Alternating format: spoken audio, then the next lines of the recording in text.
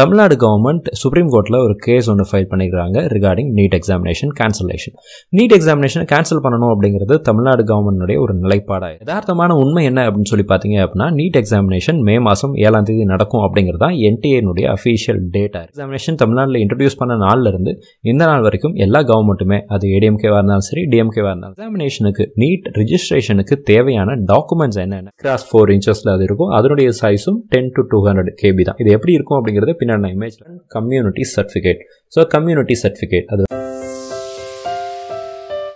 My dear students and parents this is Daniel and welcome back to channel தமிழ்நாட்டில் உள்ள மாணவர்கள் இந்த ரெண்டாயிரத்தி இருபத்தி மூன்றாம் ஆண்டு மே மாதம் நடக்கவிருக்கிற இந்த நீட் எக்ஸாமினேஷனுக்கு ப்ரிப்பேர் ஆகி கொண்டிருக்கிற இந்த சூழ்நிலையில் தமிழ்நாடு கவர்மெண்ட் சுப்ரீம் கோர்ட்டில் ஒரு கேஸ் ஒன்று ஃபைல் பண்ணிக்கிறாங்க regarding NEET examination cancellation NEET examination cancel பண்ணணும் அப்படிங்கிறது தமிழ்நாடு கவர்மெண்ட்டுடைய ஒரு நிலைப்பாடாக இருக்குது பட் யதார்த்தமான உண்மை என்ன அப்படின்னு சொல்லி பார்த்தீங்க அப்படின்னா நீட் எக்ஸாமினேஷன் மே மாதம் ஏழாம் தேதி நடக்கும் அப்படிங்கிறது தான் என்டிஏனுடைய அஃபீஷியல் டேட்டா இருக்குது ஸோ இதில் கேன்சல் ஆகுமா இல்லையா அப்படிங்கிறத பற்றிலாம் பெருசாக நீங்கள் யோசிக்கவோ இல்லை குழப்பமடையவோ வேண்டிய அவசியம் இல்லை. இது இந்த வருஷம் மட்டும் இல்லை எல்லா வருடங்களையுமே கடந்த பல வருடங்களாக நீங்கள் எடுத்து பார்த்தீங்க அப்படின்னா நீட் எக்ஸாமினேஷன் தமிழ்நாட்டில் இன்ட்ரடியூஸ் பண்ண நாள்லேருந்து இந்த நாள் வரைக்கும் எல்லா கவர்மெண்ட்டுமே அது ஏடிஎம்கேவாக இருந்தாலும் சரி டிஎம்கேவாக இருந்தாலும் சரி ஏதோ ஒரு ஆக்டிவிட்டி பண்ணிகிட்டே தான் இருக்கிறாங்க. பட் நீட் எக்ஸாமினேஷன் தொடர்ந்து நடந்துக்கிட்டே தான் இருக்குது இந்த எக்ஸாமினேஷன் கேன்சல் ஆகிறத பற்றி நம்ம தனியாக பேசலாம். பட் இந்த வீடியோவில் நம்ம என்ன பார்க்க போகிறோம்னு சொல்லி பார்த்தீங்க அப்படின்னா எக்ஸாமினேஷனுக்கு நீட் ரிஜிஸ்ட்ரேஷனுக்கு தேவையான டாக்குமெண்ட்ஸ் என்னென்ன அப்படிங்கிறத பற்றி பார்த்தலாம் யூஸ்வலாக இந்த நீட் எக்ஸாமினேஷன் எப்போ ஸ்டார்ட் ஆகும் அந்த ரிஜிஸ்ட்ரேஷன் எப்போ ஸ்டார்ட் ஆகும் அப்படின்னு சொல்லி பார்த்தீங்க அப்படின்னா எக்ஸாமினேஷன் டேட்டுக்கு ரெண்டு மாதங்களுக்கு முன்பதாக இந்த எக்ஸாமினேஷனுக்குரிய ரிஜிஸ்ட்ரேஷன் அப்படிங்கிறது ஸ்டார்ட் ஆகும். உதாரணத்துக்கு கடந்த ஆண்டு நீட் எக்ஸாமினேஷனுடைய அஃபிஷியல் ஷெடியூல் நம்ம பார்க்கலாம்.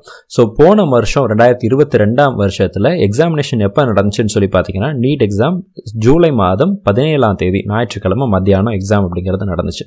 இதற்குரிய online submission of application form எப்போ ஸ்டார்ட் ஆச்சுன்னு சொல்லி பார்த்தீங்க அப்படின்னா ஏப்ரல் ஆறாம் தேதி ஆரம்பித்து மே மாதம் ஆறாம் தேதி வரைக்கும் உங்களுக்கு அப்ளிகேஷன் ரிசீவ் பண்ணாங்க.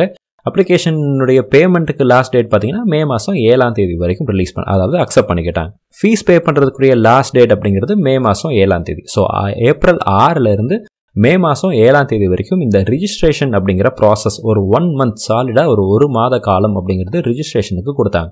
மே மாதம் ஏழாம் தேதி ரிஜிஸ்ட்ரேஷன் எல்லாமே கம்ப்ளீட் ஆனதுக்கு அப்புறம் ஜூன் விட்டு ஜூலை மாதம் பதினேழாம் தேதி தான் எக்ஸாமினேஷன் அப்படிங்கிறது நடந்துச்சு. ஸோ சாலிடாக ஒரு ஒன் அண்ட் ஆஃப் மந்த்ஸ் அப்படிங்கிறது எக்ஸாமினேஷனுக்கும் ரிஜிஸ்ட்ரேஷனுக்கும் இடையில உள்ள நாட்கள் அப்படிங்கிறது இருக்குது இது எதனால் அப்படின்னா இந்திய அளவில் ஏகப்பட்ட மாணவர்கள் லட்சக்கணக்கான மாணவர்கள் இந்த எக்ஸாமினேஷனில் பார்ட்டிசிபேட் பண்ணுறாங்க இந்த எல்லா மாணவர்களுடைய டீட்டெயில்ஸ் எல்லாத்தையும் கேதர் பண்ணணும். அவங்க எல்லாத்துக்கும் எக்ஸாமினேஷன் சென்டர் அலாட் பண்ணணும். ஸோ எக்ஸா இந்த ப்ராசஸ் அப்படிங்கிறது வந்து இட்ஸ் அ டிடிஎஸ் ப்ராசஸ் அப்படிங்கிறதுனால இந்திய அளவில் நமக்கு ஜேடபிள்யூ மாதிரி ரெண்டு மூணு ஃபேஸாலாம் இது நடக்கல. ரெண்டு ஃபேஸாக நடக்குது ஜேடபிள்யூ பட் நீட்டை பொறுத்த வரைக்கும் ஒரே ஃபேஸ் ஒரே டேட்டில் இந்தியா ஃபுல்லாக ஒரே டைமில் எக்ஸாம் அப்படிங்கிறது நடக்குது அப்படிங்கிறதுனால it's going to be a tedious job so அதனால் ஒரு ஒன்றரை மாத காலங்கள் எடுத்துக்கிட்டாங்க எக்ஸாமினேஷனுக்கும் ரிஜிஸ்ட்ரேஷனுக்கும் இடையில உள்ள நாட் அது மட்டும் இல்லை போன வருஷம் மூணு மணி நேரம் இருபது நிமிஷம் அதாவது த்ரீ ஹார்ஸ் டுவெண்ட்டி மினிட்ஸ் எக்ஸாமினேஷனுக்கு டியூரேஷன் கொடுத்தாங்க. எக்ஸ்ட்ரா டுவெண்ட்டி மினிட்ஸ் அப்படிங்கிற டைமை வந்து இன்க்ரீஸ் பண்ணி கொடுத்தாங்க. இதுக்கு முன்னாடி வரைக்கும் நூற்றி எண்பது நிமிடங்கள் அதாவது மூணு மணி நேரம் அப்படிங்கிறது தான் நமக்கு வந்து எக்ஸாமினேஷன் டியூரேஷனாக இருந்துச்சு. கடந்த ஆண்டிலிருந்து மூணு மணி நேரம் இருபது நிமிடம் இந்த எக்ஸாமினேஷனுக்குரிய டியூரேஷனாக ஸ்டார்ட் பண்ணாங்க இனிஷியேட் பண்ணாங்க. ஸோ எக்ஸாமினேஷன் நமக்கு நடந்துச்சு. ஜூலை மாதம் பதினேழாம் தேதி ரெண்டு மணிலேருந்து சாயங்காலம் அஞ்சு இருபது வரைக்கும் எக்ஸாம் நடந்துச்சு. எக்ஸாமினேஷன் பற்றி நம்ம நிறைய வீடியோ லாஸ்ட் இயர்லேயே போட்டிருக்கிறோம். இனி வர நாட்கள்லையும் எக்ஸாமினேஷனை பற்றி அதுக்கு தேவையான இதெல்லாம் பற்றி நம்ம வந்து டீட்டெயிலாக செப்பரேட்டாக இன்னொரு வீடியோ பார்க்கலாம். ரிசல்ட் எப்போ வந்துச்சு? செப்டம்பர் மாதம் ஏழாம் தேதி தான் ரிசல்ட் அப்படிங்கிறது வந்துச்சு.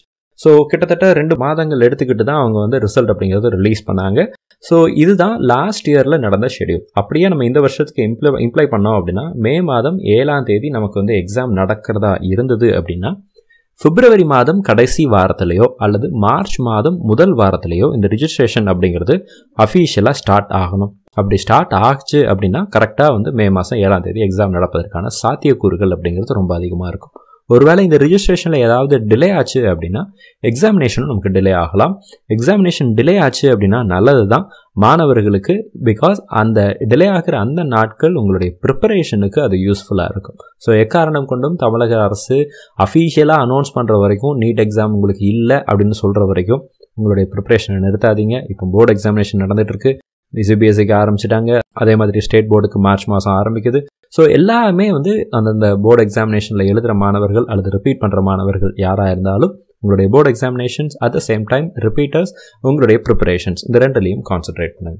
ஸோ இந்த வீடியோவில் அடுத்து நம்ம என்ன பார்க்க போகிறோம்னு சொல்லி பார்த்தீங்கன்னா டாக்குமெண்ட்ஸ் ரிக்வயர் இந்த நீட் எக்ஸாமினேஷனுக்கு தேவையான டாக்குமெண்ட்ஸ் என்னென்ன அப்படிங்கிறத பற்றி பார்த்துடலாம். மாணவர்கள் அவங்க ரெடி பண்ண வேண்டிய டாக்குமெண்ட்ஸ் என்னென்ன இருக்குது அப்படிங்கிறத பற்றி தெளிவாக பார்க்க போகிறோம் at the same time government authorities கிட்ட இருந்து நீங்கள் அப்ளை பண்ணி வாங்கி வைத்திருக்க வேண்டிய சில சான்றிதழ்கள் டாக்குமெண்ட்ஸ் என்னென்ன அப்படிங்கிறத பற்றி பார்த்தலாம் இதில் பெற்றோர்களுடைய பங்களிப்பும் இருக்குது அப்படிங்கிறதுனால இந்த வீடியோவை உங்களுடைய ஃப்ரெண்ட்ஸ் அண்ட் உங்களுடைய ரிலேட்டிவ்ஸ் உங்களுடைய பேரண்ட்ஸ்க்கும் கூட இந்த வீடியோவை ஷேர் பண்ணுங்கள் ஸோ தட் இந்த இன்ஃபர்மேஷன் அப்படிங்கிறது எல்லாத்துக்கும் போய் சேரும்.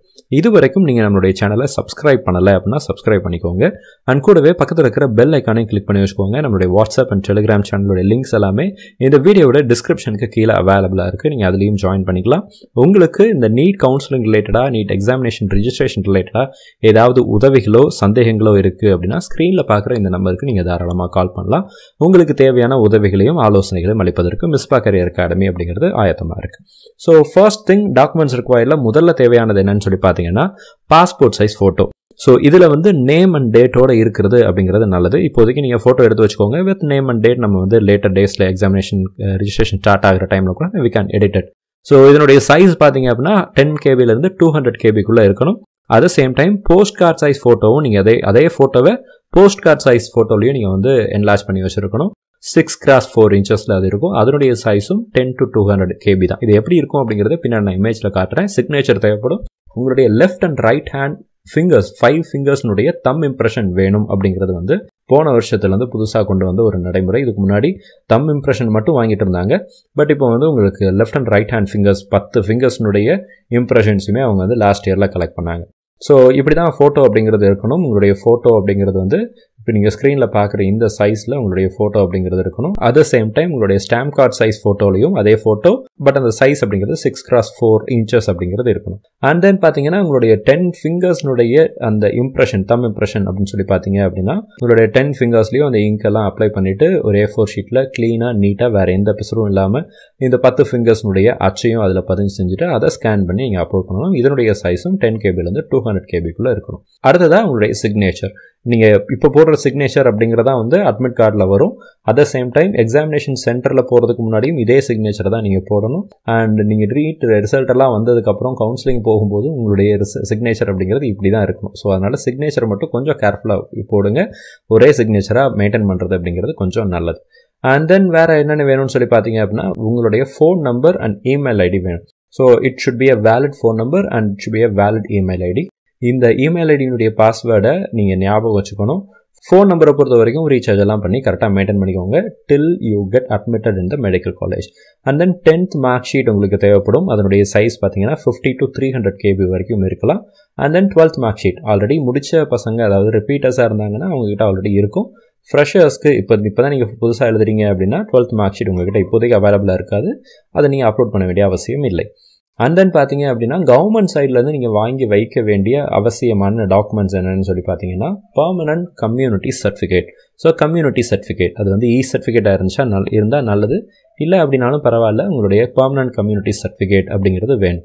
ஸோ இது தமிழ்நாட்டில் நீங்கள் இருக்கிறீங்க இல்லை வேறு ஸ்டேட்டில் இருக்கிறீங்கன்னா அந்தந்த ஸ்டேட்டில் உங்களுடைய நேட்டிவிட்டி எதுவோ அந்த ஸ்டேட்டில் நீங்கள் வந்து இந்த கம்யூனிட்டி சர்டிஃபிகேட் அப்படிங்கிறத எடுத்து வைத்திருக்கணும்.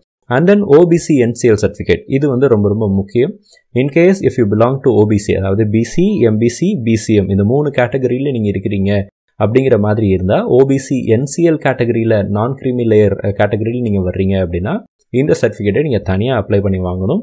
இதனுடைய வேலிடிட்டி அப்படிங்கிறது ஒன் இயர் தான். ஸோ ஒருவேளை நீங்கள் ரிப்பீட்டர்ஸாக இருந்தீங்கன்னா உங்களுடைய வேலிடிட்டி பார்த்துக்கோங்க. மார்ச் மாதம் முப்பத்தி ஒன்றாம் தேதிக்குள்ளே இந்த ரிஜிஸ்ட்ரேஷன் அப்படிங்கிறது ஆரம்பிச்சிருச்சு அப்படின்னா எந்த பிரச்சனையும் இல்லை. நீங்கள் ஆல்ரெடி இருக்கிற சர்டிஃபிகேட்டில் அந்த வேலிடிட்டி செக் பண்ணிவிட்டு நீங்கள் அதையே வச்சு யூஸ் பண்ணிக்கலாம்.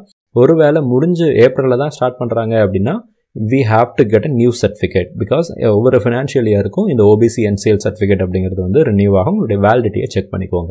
And then EWS certificate you belong to economically weak செக்ஷனாக இருந்தீங்க அப்படின்னா அதனுடைய certificate if you are person with disability benchmark டிசேபிலிட்டின்னு சொல்லுவோம். ஒரு டிசேபிலிட்டி இருக்கக்கூடிய மாணவர்களாக இருந்தீங்கன்னா பிடபிள்யூடி சர்டிஃபிகேட் வாங்கி வச்சுக்கணும். அது போக ஒரு வேலிட் ஐடி ப்ரூஃப் ஒன்று இருக்கணும். உங்களுடைய ஆதார் கார்டாக இருக்கலாம் ஓட்டர் ஐடியாக இருக்கலாம் பாஸ்போர்ட்டாக இருக்கலாம் பேங்க் பாஸ்புக்காக இருக்கலாம். இந்த மாதிரி ஏதாவது ஒரு வேலிட் ஐடி ப்ரூஃப் அப்படிங்கிறதையும் நீங்கள் வச்சுக்கணும் அப்படிங்கிறதா முக்கியமான விஷயம். ஸோ இந்த வீடியோ உங்களுக்கு யூஸ்ஃபுல்லாக இருந்திருக்கும்னு நினைக்கிறேன். இந்த வீடியோ உங்களுக்கு யூஸ்ஃபுல்லாக இருந்துச்சு அப்படின்னா உங்களுடைய ஃப்ரெண்ட்ஸுக்கும் இந்த வீடியோ ஷேர் பண்ணுங்கள் நீங்கள் இது வரைக்கும் நம்மளுடைய சேனலை சப்ஸ்கிரைப் பண்ணால் பார்த்துட்டு இருந்தீங்க அப்படின்னா நம்மளுடைய சேனலை சப்ஸ்கிரைப் பண்ணிக்கோங்க. அண்ட் கூடவே பக்கத்தில் இருக்கிற பெல் ஐக்கானை கிளிக் பண்ணி வச்சுக்கோங்க. அப்போ தான் நம்ம எடுக்கிற எஃபர்ட்ஸ் நம்ம போடுற வீடியோஸ் கண்டினியூஸாக உங்களுக்கு வந்து சேரும். மறக்காமல் இந்த வீடியோ உங்களுடைய ஃப்ரெண்ட்ஸ் அண்ட் ரிலேட்டிவ்ஸ்க்கும் ஷேர் பண்ணுங்கள் ஸோ தட் இந்த இன்ஃபர்மேஷன் உங்களை போலவே இருக்கக்கூடிய இன்னும் நிறைய மாணவர்களுக்கு சென்றடையும். நீங்கள் விரும்பின மருத்துவக் கல்லூரியில் உங்களுக்கு இடம் கிடைக்கணும்னு சொல்லி உங்களுக்காக நான் ப்ரே பண்ணிக்கிறேன். All the very best